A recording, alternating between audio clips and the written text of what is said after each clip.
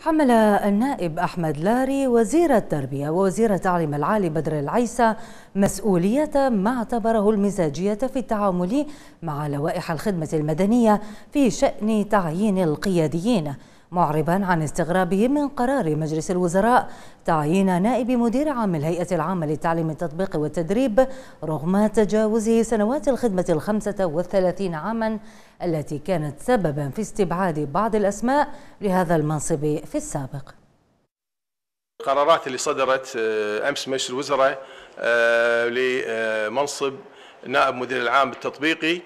وفي يعني هذا السياق أنا أحمل وزير التربية مسؤولية هذه القرارات حيث تم يعني التعامل بمزاجية بقرارات ديوان الخدمة.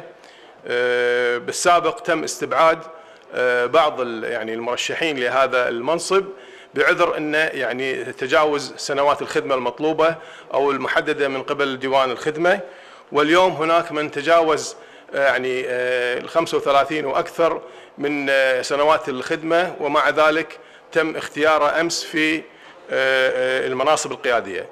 فإذا هذا التعامل يستمر ولم يتم يعني مراعاة ذلك للآخرين فإذا كان هناك استثناء من مجلس الوزراء لقرار ديوان الخدمة فيجب أن يشمل استثناء كل المستحقين.